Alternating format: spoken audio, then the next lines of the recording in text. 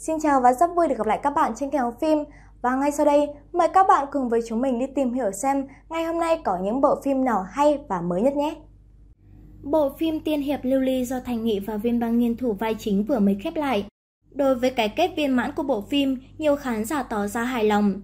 Hầu trường quay cảnh khóc đầy đau thương của nhân vật toàn cơ bị chê quá thiếu chân thực vì Viên Bang Nghiên thậm chí chẳng thể rơi nước mắt. Tôi vốn cảm thấy diễn xuất của Thành Nghị tốt nên mới xem tiếp ủng hộ, Đáng sợ quá, tội nghiệp tư phượng, trong phim bị đâm, ở ngoài vẫn bị đâm. Phí công tôi giỏi trước còn khen cô ấy tiến bộ. Một cảnh quay ánh mắt phải quay mất mười mấy lần, còn bắt cả ekip phải đợi cô ấy. Thực ra không phải vấn đề có rơi nước mắt hay không, mà là do biểu cảm của Viên Băng Nghiên. Vào năm trước, lúc đoàn phim Lưu Ly đang tiến hành ghi hình, một số fan tới trường quay xem, sau đó tiết lộ rằng Viên Băng Nghiên diễn cảnh khóc mãi không được, cả ekip phải đợi một mình cô ấy lấy cảm xúc nhưng kết quả cảnh phim vẫn không đạt, cả đoàn phim phải bổ sung cùng cô. Việc này không chỉ diễn ra một lần, vì hầu như cảnh nào của viên băng nghiên cũng phải quay lại. Cứ như thế cô nhiều lần chiếm dụng thời gian nghỉ ngơi của các diễn viên khác và nhân viên đoàn phim, nhưng bản thân lại yêu cầu được nghỉ ngơi 10 tiếng mỗi ngày. Không chỉ vậy, viên băng nghiên từng vì trùng lịch quay phim khác mà nhiều lần tới trễ khiến cả đoàn phim phải phơi nắng đợi cô. Ngoài ra, một số đoạn phỏng vấn mà đạo diễn đề cập tới diễn xuất của viên băng nghiên cũng bị đào lại.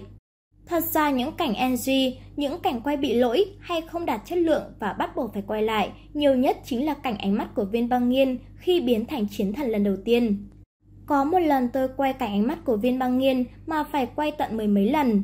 Sau đó các diễn viên khác cũng bắt đầu có ý kiến vì chúng tôi hôm đó quay cảnh quần chúng, mọi người đều phải chờ đợi.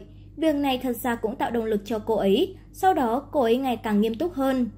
Có ý kiến cho rằng ekip quay phim bao gồm cả đạo diễn đều không vừa ý với Viên Băng Nghiên vì diễn xuất kém lại còn không kính nghiệp, nhưng chỉ ngầm ám chỉ việc này trong phỏng vấn. Bằng chứng là một đoạn tin nhắn được cho là của nhân viên đoàn phim vào tháng 7 năm ngoái được tung ra, cho biết có một hôm đoàn phim kết thúc ghi hình sớm, nhưng Viên Băng Nghiên không chịu chuẩn bị cho cảnh quay hôm sau mà bỏ ra biển chơi. Kết quả là ngày quay tiếp theo cô bị mắng vì đài từ không tốt. Cuộc trò chuyện còn đề cập tới cảnh quay đại chiến Thiếu Dương ngày hôm đó, Bạch đế Lưu Học Nghĩa đóng bị treo lơ lửng bằng dây cáp dưới thời tiết nắng gắt vì phải chờ đợi. Trùng hợp là nội dung cuộc trò chuyện này cũng đúng vào ngày Nam Phụ Lưu Học Nghĩa chia sẻ trên Weibo dòng trạng thái Bạch Đế biến thành Hắc Đế cùng với bức hình có nội dung tương tự như được nhân viên đoàn phim đã nhắc tới. Ở một diễn biến khác, có người tiết lộ Thành Nghị đã phải hy sinh rất nhiều cho bộ phim này nhưng lại bị diễn xuất kém của viên băng nghiên liên lụy. Anh phải mặc một bộ giáp nặng hơn 5kg dưới trời nắng nóng, nhưng cảnh quay này lại mất tới 3 ngày mới đạt được hiệu quả như yêu cầu. Sau khi quay xong cảnh này, Thành Nghị đã nằm luôn dưới đất không dậy nổi. Cuối cùng, anh còn bị thương ở lưng phải vào viện. Kể từ sau khi lưu ly lên sóng cho tới lúc kết thúc, Viên băng nghiên dường như luôn là người nhận phải những chỉ trích từ khán giả. Những tưởng có thể nhờ vào lưu ly để củng cố sự nổi tiếng của bản thân.